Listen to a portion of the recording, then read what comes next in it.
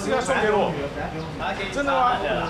特别跑到板桥响应捐血活动，更有热情粉丝送上手帕。民众党立委黄国昌周末到新北跟民众把干井，为新北市长选战暖身。只不过联手蓝营推国会扩权法，导致民众党支持度雪崩式下跌。柯文哲还低调，一连三天合体血滴子蔡碧如传出就是讨教组织经营，挽救流失支持者。那不管是公共政策的推展上，还是在地方组织的经营上。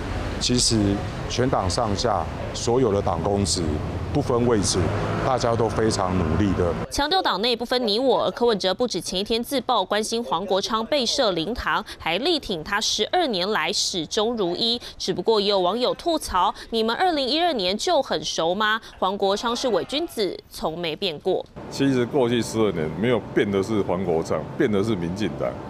当年黄国昌哦，主张要国会改革。谢谢主席的关心呐，都已经被人家设灵堂了，看起来仇恨值当然是很高。但在国会扩权法后，蓝白可能有下个合作法案吗？国民党也拟在下个会期推选罢法修正草案，提高罢免门槛。传出民众党不跟进，难道要切割？既不在台湾民众党我们优先法案清单之列，也不在本来跟中国国民党所谈妥。